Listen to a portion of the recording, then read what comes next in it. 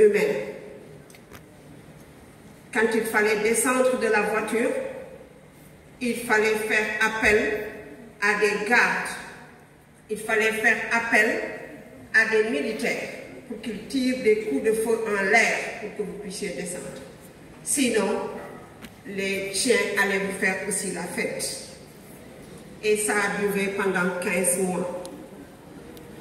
Et au retour de cela, je suis encore revenue pour redevenir policière. Mais je vais vous parler un peu de ce séjour-là. J'avais laissé trois enfants avec ma maman, avec des sœurs, avec des frères, avec, je vais dire, une famille bienveillante.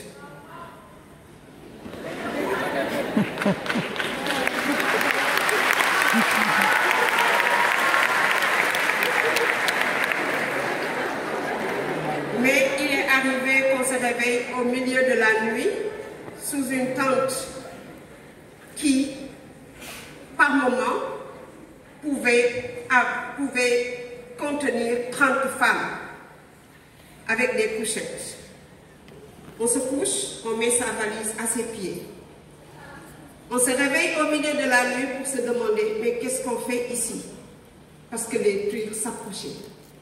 Les tirs quittaient les flancs des montagnes pour s'approcher. Il n'était pas rare qu'on se réveille pour, que, pour voir chacun mettre les mains sous les mentons, homme comme femme, pour dire qu'est-ce que j'ai fait ici. Est-ce qu'on ne va pas rentrer? Mais vers 10 heures, quand le soleil se lève, on se dit, si on rentre, d'autres personnes n'auront pas la chance de venir ici. Et moi, je me disais toujours, comme à l'école de police, une fois que la première femme tombe, les autres vont tomber. Je n'ai pas le droit à l'erreur. Je dois maintenir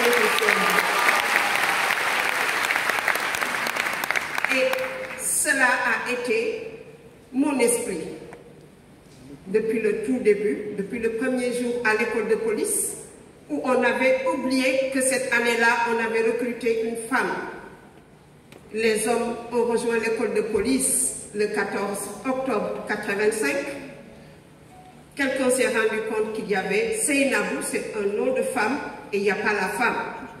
Donc j'ai rejoint les hommes le 15 octobre 85. Et depuis ce jour-là, je me suis dit, ils peuvent m'oublier, mais c'est à moi de m'illustrer, de me donner un exemple, de faire tout ce qui est capable pour que les femmes me suivent, pour que cette voie que les devancières ont ouverte dans, dans le corps de la police, mais à d'autres stades, pour que cette voie-là ne se ferme pas derrière moi. Et elle ne s'est jamais fermée. On voit des gendarmes, on voit des militaires, on voit aussi de la police. Et dans le corps de la police, qui a été premier corps habillé du Sénégal, mais nous sommes à peu près maintenant 8%. Donc la voie ne s'est jamais fermée. Et quand je regarde ma fille, je me souviens des moments où, quand j'appelais à la maison, les rares fois où on avait le network, parce que quand le gouvernement du Soudan attaque ou bien répond à des attaques, il coupe le network pour 15 jours. On a oublié nos téléphones. Quand je regarde ma, fille, je me souviens que je pouvais rester un mois sans avoir des nouvelles de la famille. Et quand ça arrivait que je leur parle, je leur disais sans nouvelles, bonnes nouvelles. Sachez que ici, on est bien protégé. Il fallait mentir pour leur faire croire qu'on est à l'appui, alors qu'on ne l'était pas. Et au Darfour, encore une deuxième fois, en 2010, de 2010 en 2013, on a perdu des collègues. J'ai perdu un collègue qui m'a très, qui m'a marqué, parce qu'on vivait ensemble. On a pris le déjeuner ensemble, je suis partie au bureau, lui, il devait aller travailler à partir de 18h. On revenait pour prendre le dîner, c'est lui-même qui a appelé pour dire on a été attaqué et j'ai reçu trois balles. Une au pied, une à la main et une au flanc droit. Et c'est cette balle-là qu'il a perdue. Et c'était un policier sénégalais. C'était quelqu'un qui avait acheté son billet pour venir au Sénégal passer la Tabaski. Je sais que sa famille m'entend et ma compassion pour sa famille n'a de limite. Il avait déjà envoyé de l'argent à sa femme pour lui dire va à Cœur Saucé remettre l'argent à mes parents pour qu'ils préparent la tabaski et quand tu reviendras, je serai là avec toi. Avant le retour de la femme, on a déjà annoncé à sa famille qu'on l'avait perdu. C'est des choses qui nous marquent à vie. Je ne peux plus aimer mes enfants comme le font les femmes. Parce que j'ai vu beaucoup d'enfants qui souffrent, qui n'ont pas de parents et qui ne reverront plus jamais leurs parents. J'ai vu des enfants qui marchent les pieds nus. J'ai vu des enfants qui meurent de faim. J'ai vu des enfants qui préfèrent mourir que vivre. Parce que chaque fois qu'ils ferment leurs yeux, ils se disent, je ne vais pas réouvrir les yeux. J'ai vu aussi des peacekeepers profiter de la vulnérabilité des gens qui sont venus aider. Et c'est mon combat au Congo. On n'est pas payé pour venir exploiter la population locale. J'ai vu aussi des femmes qui souffrent parce qu'elles ont été violées, parce qu'on les a martyrisées, parce qu'elles n'ont pas les armes, parce qu'elles sont faibles. Et ces femmes-là, qui sont déplacées, et souvent aussi, on est obligé de les aider. Je n'ai pas besoin de discours, parce que je raconte ma vie. Je raconte quelque chose que j'ai vécu. Ces femmes-là, on ne peut pas les laisser à la merci. Il faut qu'on les aide. À l'occasion, je vous dirai que je suis aussi la présidente du réseau des femmes de police de la MONUSCO. Et c'est avec des collègues femmes qu'on se cotise. On prend nos salaires à chaque fin du mois, mais de nos salaires, on prend de l'argent pour se cotiser pour aider ces femmes. On les forme à la fabrication du savon. On leur achète des machines et du matériel de première nécessité pour l'apprentissage du métier de la couture. On leur achète du matériel agricole et des semences et on les aide à avoir de la terre. Vous savez, dans certains pays, la terre n'est jamais donnée aux femmes. Donc c'est dans ces difficultés que j'ai été reconnue. Reconnue pas parce que je suis sénégalaise, mais reconnue parce que depuis toujours, je me suis modelée. Je me suis dit, je dois être un exemple. C'est Dieu qui choisit et Dieu m'a choisi. Première et seule gardienne de paix au Sénégal en 85. J'ai peur tomber, mais je n'ai pas le droit de rester couché. On tombe parce qu'il y a toujours des difficultés. Les difficultés sont liées à la vie. Mais il faut savoir se relever à temps. Et à chaque fois qu'on tombe, il faut apprendre une leçon.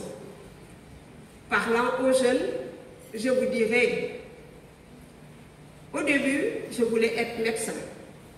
J'ai fait des études jusqu'au baccalauréat D et des études brillantes parce que j'ai eu mon bac avec mention. J'étais à l'institution Notre-Dame, c'est là-bas où j'ai fait. Mon papa était au ministère des Finances. Il m'a mis à l'institution Notre-Dame et à chaque fois que je sortais de l'école, j'ai passé par l'école des douanes pour juste aller à son bureau. Mais quand j'ai eu mon bac, il restait à mon papa deux ans pour aller à la retraite. C'est là-bas j'ai opéré un choix. Et un choix de vie. Parce qu'il fallait quelque chose pour soutenir celui qui a soutenu mon jeune âge. Celui qui a soutenu mes études. n'étais pas l'aînée, mais j'étais la première à avoir le bac. Donc je me suis dit, il faut que j'aille faire quelque chose de ma vie. Et c'est là où j'ai eu les informations par rapport à l'ouverture des concours à la police. Et c'est ce qui m'a fait devenir policière aujourd'hui, ce que je ne regrette pas.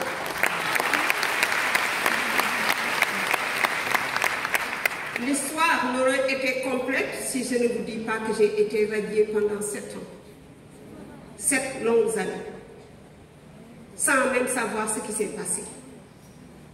Parce que quand j'ai fini ma formation de policière, gardienne de la paix, j'ai déposé pour un concours d'officier parce que j'avais les diplômes.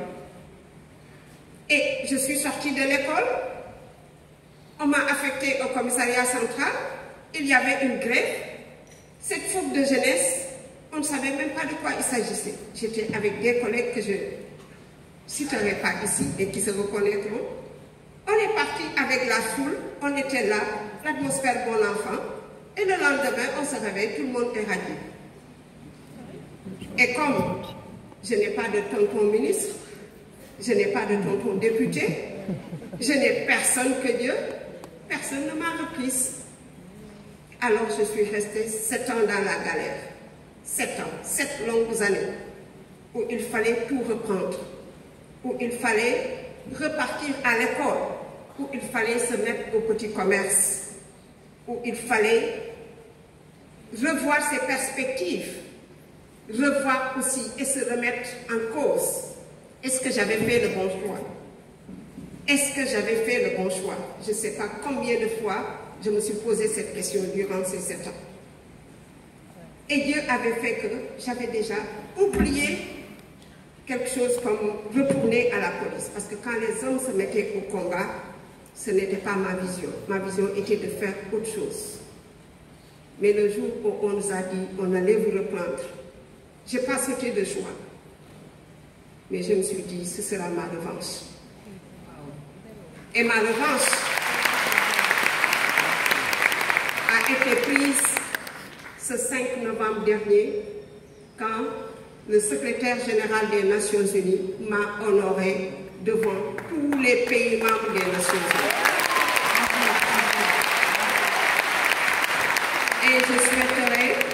L'occasion demander à Madame Ami une faveur, c'est de donner le award à ce peuple sénégalais représenté ici, à cette jeunesse qui est là, à ses petites sœurs, à ses nièces et neveux. Je vous donne le award et je vais vous le présenter.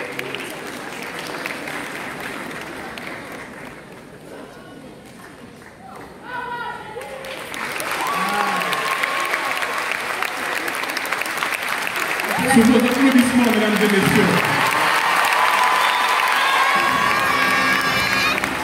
Merci.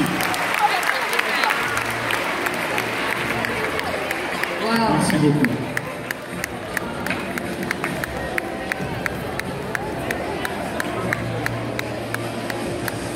Merci beaucoup, commandant Diouf. Merci beaucoup. Une pionnière, un exemple pour les femmes qui souhaitent faire carrière dans la police. Elle a combattu, elle s'est battue et aujourd'hui, voilà le résultat d'une femme déterminée. On peut encore l'applaudir. Et sachez, commandante, et sachez, commandante,